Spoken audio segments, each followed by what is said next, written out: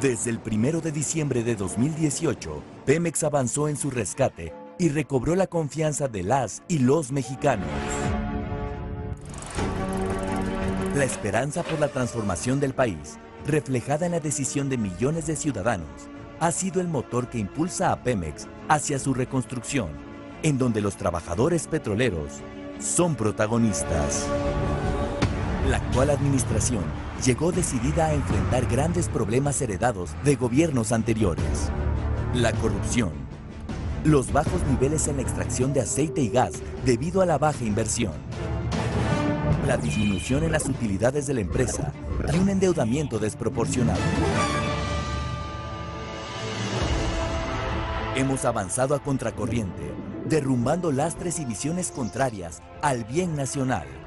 Hoy podemos afirmar que sí es posible. Este gobierno retoma el esfuerzo de los trabajadores petroleros y del pueblo mexicano, que hace 82 años acompañaron la expropiación petrolera. Hoy, las nuevas generaciones asumen un papel decisivo y los logros están a la vista. En un año, hemos obtenido resultados positivos en la lucha contra el robo de combustible, la corrupción, el dispendio y el tráfico de influencias, así como un manejo responsable de los recursos, aplicando una rigurosa política de austeridad, reactivación de la producción, modernización de la infraestructura y la renegociación de la deuda sin recurrir a nuevos endeudamientos. Se cumplen 82 años de la expropiación petrolera, en un momento crucial para el resurgimiento de Pemex. Entramos en una etapa de consolidación para ser de nuevo puntal de desarrollo de nuestro país.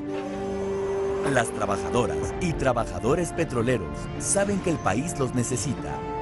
El esfuerzo de cada mexicano es fundamental en este proyecto. Todos somos clave para alcanzar los objetivos trazados para Pemex y el país. En Pemex estamos convencidos que el primer paso por el rescate se ha dado con firmeza. Hoy trabajamos para sentar las bases de un proyecto en beneficio de todas y todos los mexicanos.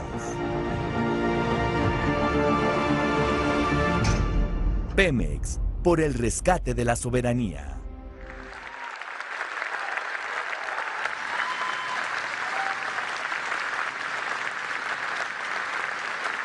Damas y caballeros, escuchemos el mensaje que nos dirige el presidente constitucional de los Estados Unidos mexicanos, el licenciado Andrés Manuel López Obrador.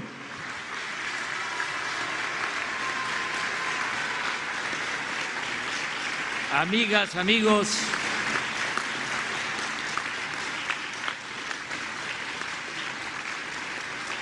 me da mucho gusto participar en esta conmemoración de la histórica decisión de expropiar el petróleo el 18 de marzo de 1938. El petróleo de México siempre ha sido una gran tentación. La historia en breve se puede contar desde cuando lo descubrió en 1860 el cura Manuel Gili Sainz en San Fernando, Macuspana, Tabasco. Según el presbítero, los indígenas mayas chontales le decían con temor que se iba a volver un montón de sal, porque eso era cosa del duende o amo del monte. Sin embargo, el desarrollo de la industria petrolera comienza hasta 1901, cuando este energético empieza a ser demandado como combustible para mover el recién inventado automóvil, los ferrocarriles y la industria. Y como suele suceder, aparejado de este auge petrolero, surge la necesidad de ajustar el marco jurídico en aras del interés económico. Precisamente en ese año, Porfirio Díaz expide la ley del petróleo, la primera ley del petróleo, otorgando al propietario el dominio del suelo y del subsuelo y también la posibilidad de explotar el petróleo en terrenos nacionales. Las compañías petroleras extranjeras a partir de entonces dominaban en toda la región del Golfo de México. Ya eran conocidos los despojos que padecían indígenas y campesinos de sus tierras y las grandes injusticias que se cometían con el apoyo del régimen. Con el triunfo de la revolución, el presidente Francisco I. Madero consideró como un acto de justicia que las compañías petroleras, cuando menos, dejaran algún beneficio en nuestro país. Por eso, el 3 de junio de 1912, aprueba un decreto en donde se establece un impuesto especial sobre el petróleo crudo de 20 centavos por tonelada, equivalente a 3 centavos por barril, decisión que no pudo aplicarse por las presiones de las compañías extranjeras y del gobierno de Estados Unidos. El presidente Venustiano Carranza promovió que en la Constitución de 1917 se nacionalizara el petróleo. Sin embargo, pasó mucho tiempo para que se aprobara la ley reglamentaria en esta materia y poder ejecutar el mandato constitucional. Era mucho el poderío y las presiones de las compañías y de los gobiernos extranjeros. Es hasta el 18 de marzo de 1938 en que se consuma la expropiación petrolera.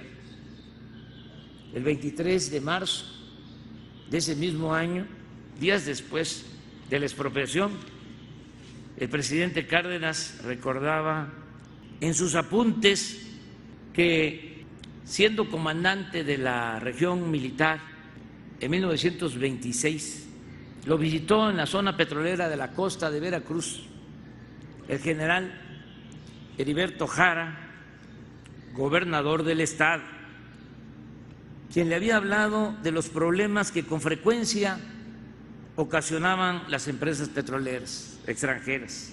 Cito lo que escribió el general, contando lo que le platicaba el general Cara, gobernador del estado de Veracruz. Se negaban a cumplir las prestaciones a sus trabajadores estipuladas en la ley haciendo alarde de contar con apoyos poderosos, sintiéndose en tierras de conquista. Pero estamos avanzando, manifestó, en la organización sindical que sabrá defender sus derechos. La expropiación del petróleo fue apoyada por la mayoría del pueblo en las fotos de la época se advierte sobre todo la presencia de gente humilde, indígenas, campesinos, obreros, maestros, empleados e integrantes de la clase media baja. Es el pueblo raso el que apoyó y cooperó con el gobierno para el pago de las indemnizaciones a las compañías petroleras extranjeras. Aunque el apoyo del pueblo fue fundamental, debe subrayarse que el presidente Cárdenas supo actuar en el momento preciso. El general era un gran estratega político que sabía de la importancia del manejo de los tiempos unos días antes de la expropiación, él mismo cuenta que sobre la carretera, en las cercanías de Cuernavaca, caminó y platicó con el general Mújica durante más de una hora. Cito al general Carlos. Hicimos consideraciones de las circunstancias que podrían presentarse si gobiernos como los de Inglaterra y Estados Unidos, interesados en respaldar a las empresas petroleras, presionaban al gobierno de México con medidas violentas, pero tomamos también en cuenta que se presenta ya la amenaza de una nueva guerra mundial con las provocaciones que desarrolla el imperialismo nazi fascista y que esto los detendría de agredir a México en el caso de decretar la expropiación. Además de esta circunstancia, debe señalarse que en ese tiempo gobernaba en Estados Unidos Franklin Delano Roosevelt, un gran estadista y uno de los mejores presidentes que ha tenido ese país en toda su historia. Recordemos que cuando Roosevelt llegó a la presidencia el 4 de marzo de 1933, Estados Unidos padecía una de las peores crisis que ha tenido y al enfrentar con éxito esa emergencia, el presidente Roosevelt comienza a revelar cualidades que lo convertirían en uno de los más grandes políticos del siglo XX, un titán de las libertades. La autenticidad de su política de buena vecindad tuvo su mejor ejemplo en el respeto a la soberanía de nuestro país. Durante los tres periodos presidenciales de Roosevelt, las relaciones entre México y Estados Unidos fueron excepcionalmente buenas. Los días posteriores a la expropiación petrolera, en una carta el general Cárdenas le reconoce con estas palabras, mi gobierno considera que la actitud asumida por los Estados Unidos de Norteamérica en el caso de la expropiación de las compañías petroleras viene a afirmar una vez más la soberanía de los pueblos de este continente que con tanto empeño ha venido sosteniendo el estadista del país más poderoso de América, el excelentísimo señor presidente Roosevelt. Los buenos resultados de esta política tuvieron mucho que ver con el papel que jugó el embajador Joseph Daniel quien actuó el embajador de Estados Unidos en México, quien actuó con sabiduría y habilidad en los años más difíciles de las relaciones entre los dos países.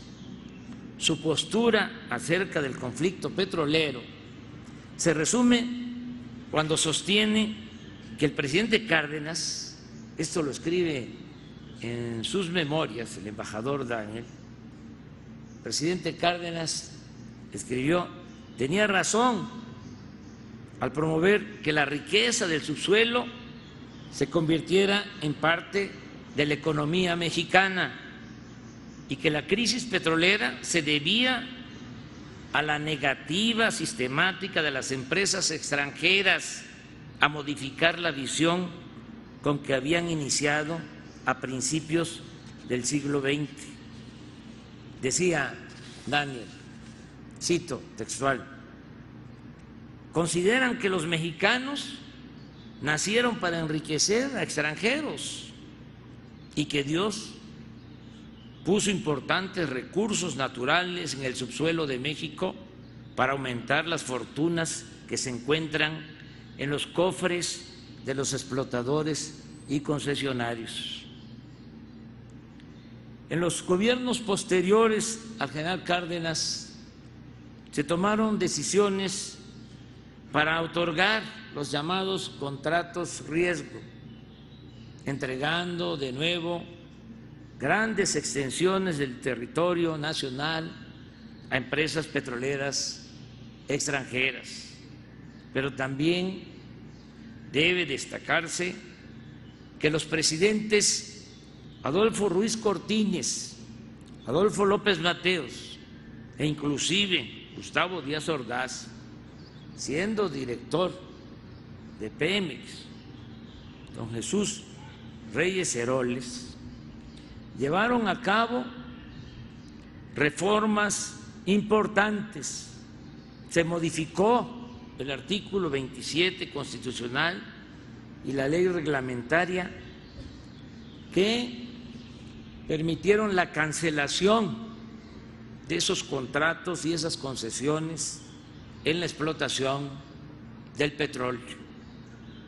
En los gobiernos de Luis Echeverría y José López Portillo se descubrieron grandes yacimientos petroleros en Tabasco, en Chiapas, sobre todo en la sonda de Campeche.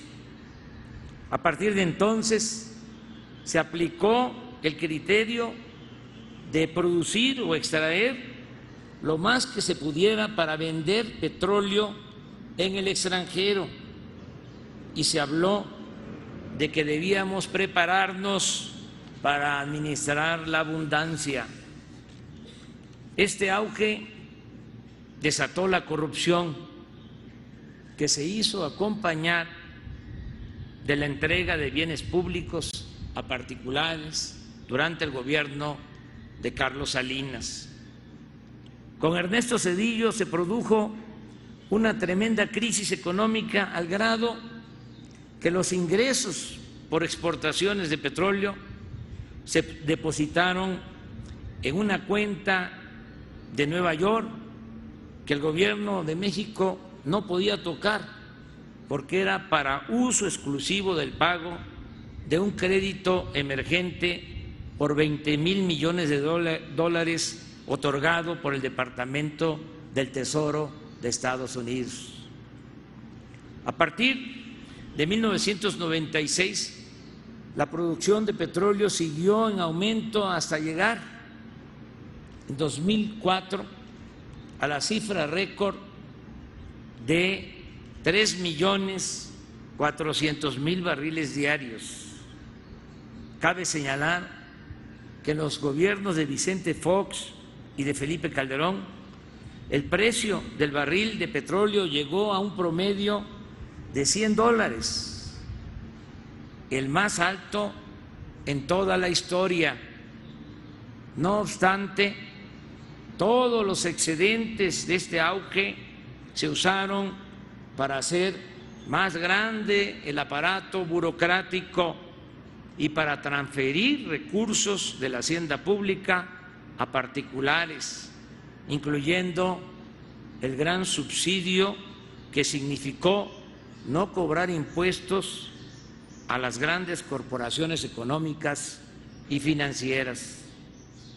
No sobra subrayar que aún con ingresos petroleros excepcionales durante el gobierno de Felipe Calderón, la deuda pública aumentó 200%.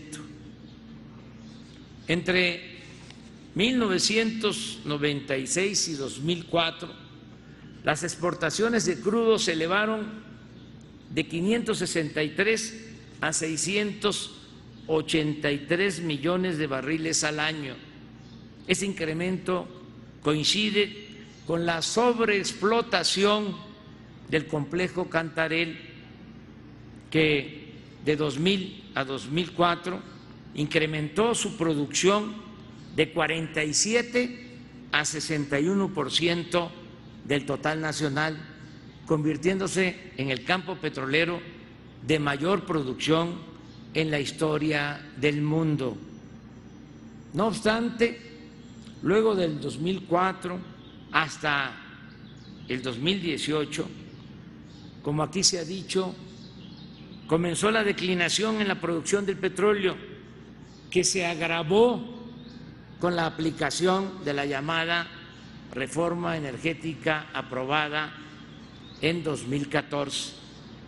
Baste decir o no olvidar que cuando se llevó a cabo esta nueva privatización del petróleo, se sostenía hasta en los considerandos de las leyes que para este año íbamos a estar produciendo tres millones de barriles diarios, porque iba a llegar la inversión extranjera a raudales, pero en realidad, como aquí también se ha dicho, en noviembre de 2018, cuando recibimos el gobierno, la producción era de un millón setecientos dos mil barriles diarios, un millón setecientos dos mil barriles diarios, y se había comenzado a importar, a comprar petróleo crudo en el extranjero. Por eso celebro que hoy el director general de Pemex, Octavio Romero Oropesa, el eficiente y honesto director general de Pemex,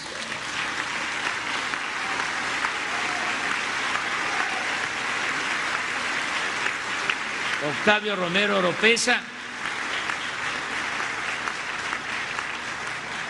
nos esté informando que por primera vez en los últimos 14 años, por primera vez en los últimos 14 años, no hubo reducción en la producción petrolera y por el contrario, al día de hoy estamos extrayendo 88 mil barriles diarios más que cuando tomamos posesión del gobierno.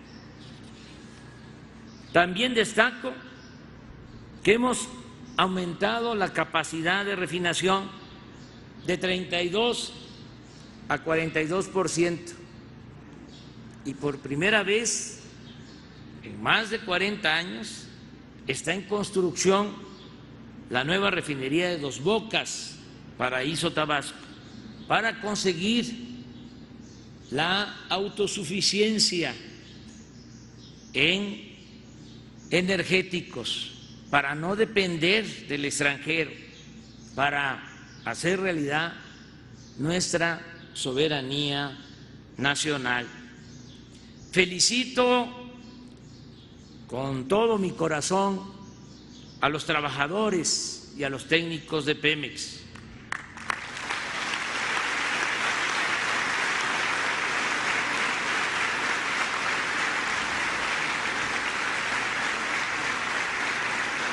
Los felicito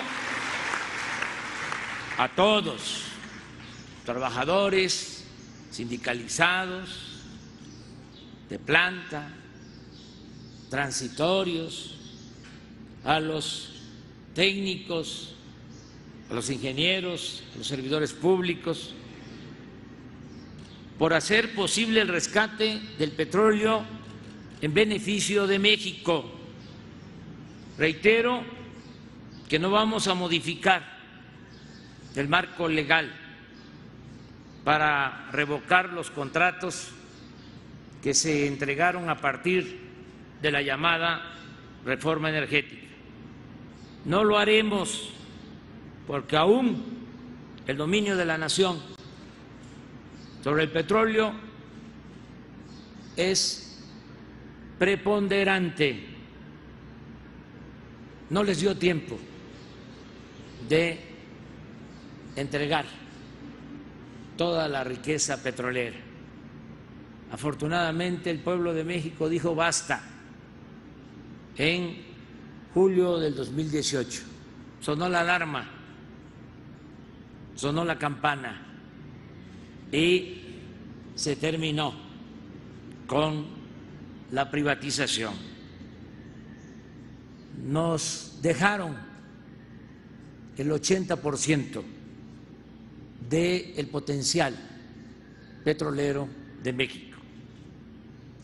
También no vamos a modificar el marco legal porque queremos respetar los acuerdos que se tomaron. aunque nosotros pensamos y actuamos de manera distinta. Y vamos a mantener el marco legal porque consideramos importante mantener la confianza de los inversionistas nacionales y extranjeros para sumar voluntades, esfuerzos y recursos en beneficio del pueblo y de la nación mexicana. Eso sí, que se oiga bien y que se oiga fuerte. Ya se terminó con el periodo privatizador, nunca más esa pesadilla. Vamos a seguir demostrando, como lo estamos haciendo, que Pemex saldrá adelante sin corrupción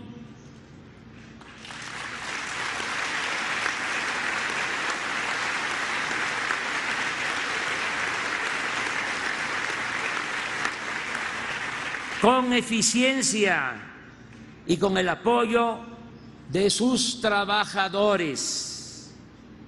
Que viva la expropiación petrolera.